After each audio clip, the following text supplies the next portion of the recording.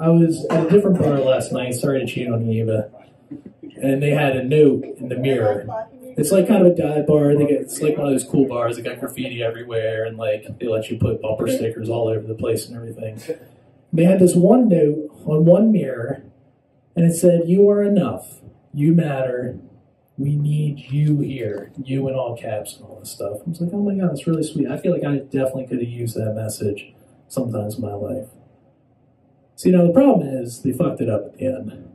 They put 12, 28, 19. It's like, why would you put a date on that? You don't want an expiration date on a do not commit suicide letter, you know?